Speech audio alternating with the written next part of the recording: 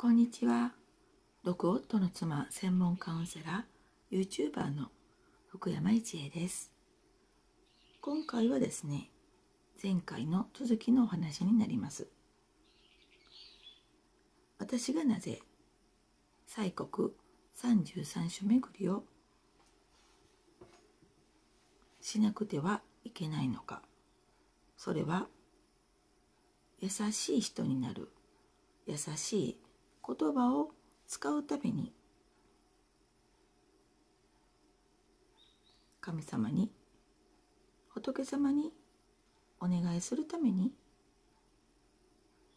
行動しようと思っているんですね。私はコロナが始まり半年ぐらい経った2020年の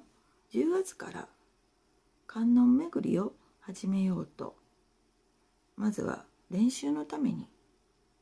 宝塚の中山寺に足を運びました。YouTube にも配信していますので動画も手ぶれもひどくってお見苦しいものではありますがよかったら私の中山寺の練習動画西国三条西国三十三章24番霊章の動画も見ていただけたら本当に嬉しいです。終了画面のところから見ていただけるようにしておきますね。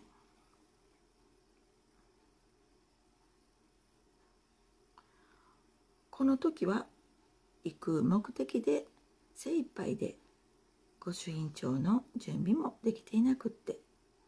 今度はぜひリベンジしたいと思っていますこれからいい場所を紹介したりこんなお店ありましたよというような配信ができますように私の YouTube があなたの心に届きますように願っています。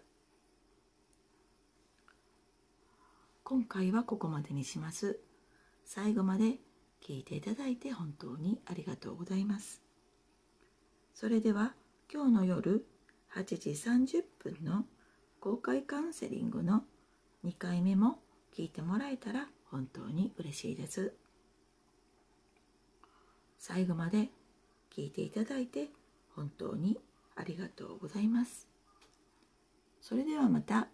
次回もお会いしましょう。